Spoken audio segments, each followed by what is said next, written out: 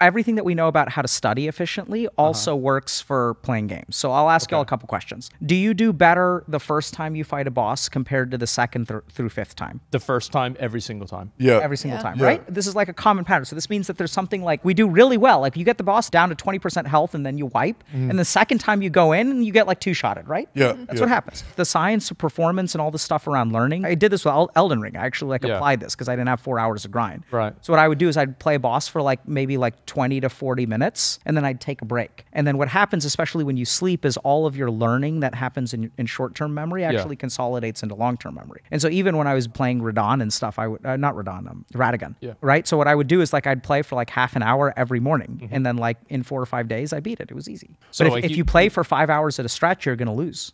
Okay. All right. So that's like an actual good way of handling it. All right. That is amazing.